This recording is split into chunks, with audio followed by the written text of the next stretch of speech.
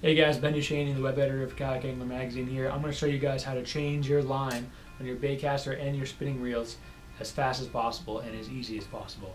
Now the easiest way to get rid of the line, the old line on your reels, even if you're doing two rods at once, is to get a big trash can that you can lean them both across at the same time.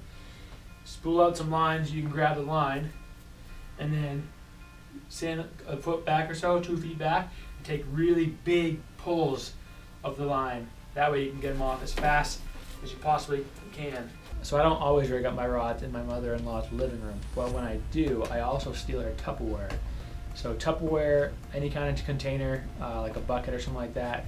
Best is an ice bucket from a hotel, but I didn't tell you that. Uh, that way you can put the, the spool inside the bucket and it can rotate and move around all it wants to do, but it won't go anywhere. So you're not chasing it the whole time.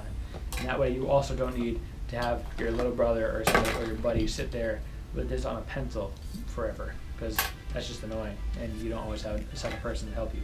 So the best thing to do is to find something that you can have with a lid and that way you can fit as many different spools as you want in here and just line them up and close it. That can be your line box. So when you start spooling your rod, don't forget to feed it through the guides.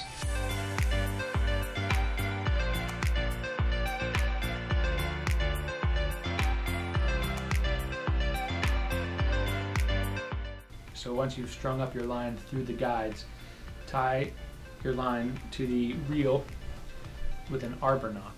Now to tie an arbor knot, you basically just loop it around the spool, tie an overhand knot, which basically creates a slip knot that you can then draw tight, and then on the tag end, do another overhand knot, which will prevent that the arbor knot from slipping once it gets seated to the reel. And when you're spooling up your rod, don't use a knife. It's just sloppy and you might get cut. You might accidentally cut the line in your reel and have to do the whole process over again. Super annoying. I really like the Logic Lures ceramics. These things are so sharp and will cut through anything, and yet they literally cannot cut you. Take your Tupperware with your line in it, set that about five feet away, and then just start reeling.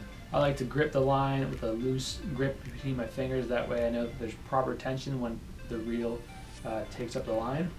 And once you have enough line on your reel, make sure to not overdo it because then it messes up the entire reel and all your casting and stuff like that. It'll it'll bird's nest like crazy that way because it'll slip off the spool itself. Um, then make sure that you leave yourself enough line to work with once you set your rod down. Otherwise, you'll have to be working up that rod tip, and that's annoying. And then what I'm going to do for this rod setup is I'm going to add a leader of about four feet maybe five, of 20 pound test fluorocarbon. Once you do that, you're all set. My name is Ben Duchesney, the web editor of Kayak Angler Magazine, hoping you paddle forever and fish longer.